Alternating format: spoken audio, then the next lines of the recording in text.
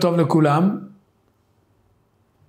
אנחנו בעזרת השם נדבר השיעור על עושר שמור לבעליו לרעתו. לפעמים אדם חושב בעולמו שהעיקר מה שישמח אותו וייתן לו שמחת חיים זה אולי דווקא בזה שהוא יאסוף הרבה כסף, הוא יהיה עשיר גדול וזה ייתן לו שמחת חיים. אבל לא תמיד.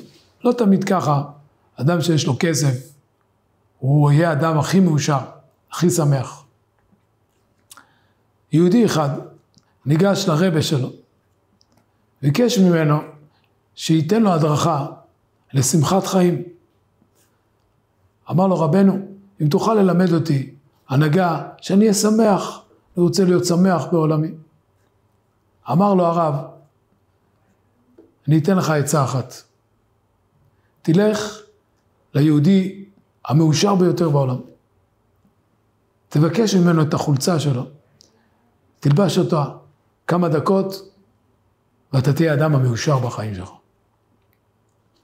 אותו יהודי חשב לעצמו, אולי הגנרל הוא האדם הכי המאושר והשמח בחלקו. ניגש אליו, ביקש ממנו, אם תוכל לתת לי את החולצה שלך לשתי דקות. אמר לו, למה אתה צריך את החולצה שלי? אמר לו, אני צריך אדם שהוא באמת מאושר ושמח. אתה נראה לי אדם מאוד מאושר ושמח. אמר לו אותו גנרל, אתה טועה אחי. אני יש לי הרבה בעיות מבית ומבחוץ, אני לא יכול לפרט לך אותם. אני לא הכתובת הנכונה, אני לא שמח בחלקי. הלך אותו יהודי לעשירי תבל שנמצאים שם באותה שכונה, באותה עיר, ואמר לו, תגיד לי, אתה האדם השמח והמאושר? אמר לו העשיר, למה אתה שואל אותי? אומר לו, תראה, אני מבקש ממך, תעשה לי טובה, תן לי את החולצה שלך שתי דקות, אני צריך את החולצה של האדם השמח והמאושר. אמר לו, אני אגיד לך בשקט, אני לא האדם המאושר, אני רק נראה מאושר ושמח, אבל בתוך תוכי יש לי הרבה בעיות. אשתי כבר עזבה אותי כמה חודשים, הילדים שלי לא הגיעו, והתחיל לפרט לו אחת לאחת את הצרות שלו. אותו יהודי ממשיך ולא מתייאש, וכן הולך הלאה לגבירים, לאסירים, לשרים החשובים, אחד אחרי השני, פורט לו את כל הצרות והבעיות שיש לו. כמעט אותו יהודי התייאש. אחד הימים הוא עובר בדרך, הוא שומע קול של כינור, יהודי מנגן עם כינור, מציץ מהחלון, הוא מסתכל, רואה איזה יהודי שמח, מאושר, מנגן עם הכינור. דפק בדלת, ביקש מאותו יהודי, אמר לו, תגיד לי, אתה יהודי שמח, אתה מאושר? אמר לו, כן, ברוך השם, כל מה שהשם נותן לי, אני שמח, מאושר. אמר לו, אתה תוכל לתת את החולצה שלך, בבקשה ללבוש אותה רק למשך שתי דקות, אני רוצה את החולצה שלך. אמר לו אותו יהודי, אין לי חולצה. אם היה לי חולצה, לא הייתי מאושר. הייתי צריך לדאוג לכבס ולנקות אותה. הייתי צריך, היה לי הרבה טרדות בשביל זה. עושר שמור לאדם, לפעמים הוא חושב שעל ידי העושר הוא יהיה שמח, אבל ההפך הוא האמת. ככל שיש לך יותר כסף, אתה יותר דואג, יותר חושב, יותר מוטרד בשביל לתכנת ולסדר את כל העסקים שלך.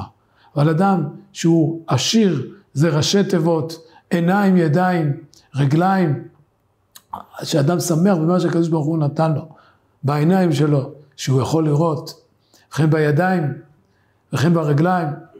זהו עשיר השמח בחלקו. אבל בן אדם שהוא רוצה מנה, רוצה 200, יש לו 200, רוצה 300, 400, הוא אף פעם לא יהיה שמח.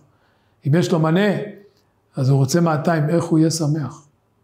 היה יהודי אחד, שהיה יושב על חוף הים, ודג לו דגים. לוקח את החכה שלו ודג לו דגים, שם אותם על האש ואוכל אותם. פגש אותו אחד האנשים שישב, שהסתובב שם על חוף הים. אמר לו, תגיד לי, מה אתה עושה? אמר לו, אני לוקח דגים, שולה מהים, ושם אותם על האש, אוכל אותם. אמר לו, תגיד לי, אתה לא רוצה להרוויח כסף? אתה לא רוצה להיות עשיר?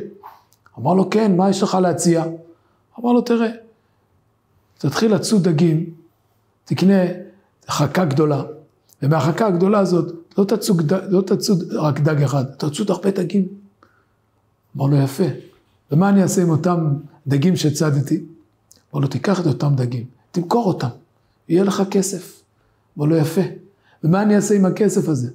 אמר לו, מהכסף הזה תוכל לקנות איזה סירה קטנה, שיש שם גם כן מצודה, שתוכל לצוד את הדגים מתוכה. ותוכל ככה לצוד לא רק דג אחד, היום אתה צד רק דג אחד, תוכל לצוד, לצוד הרבה דגים, מאות ואלפים דגים תוכל לצוד. ומה אני אעשה עם אותם דגים? תמכור אותם. יפה. ומה אני אעשה עם, עם הכסף?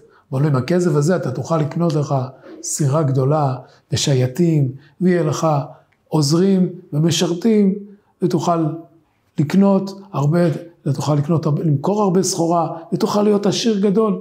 אומר לו, ואחר כך מה? אבל אחר כך תוכל לשבת בבית, על מי מנוחות, תאכל לך דגים, תוכל לצוד לך, תוכל לשים לך דג על האש, לשבת ולאכול בהשקט ובטחה.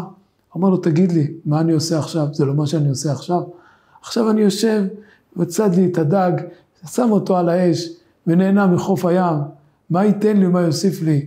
כל הטרדות וכל העוד כסף, כסף שמור לבעליו ורעתו. אני הכרתי הרבה אנשים לצערנו, שההורים שלהם אספו הרבה הרבה כסף, והבתים האלו עומדים היום, ואף אחד לא משתמש, לא הבנים ולא הנכדים, בגלל המחלוקות והמריבות שהיה בין אחד לשני. מי נהנה מזה? האבא עצמו לא נהנה, הוא רק השקיע ובזבז הרבה כסף והרבה מאמץ והרבה טרחה. והילדים עצמם רבים אחד עם השני, והבתים נשארים ככה עד היום כאבן, ש... כאבן שאין לה הופכים. אז בשביל מה אדם שמר את הכסף?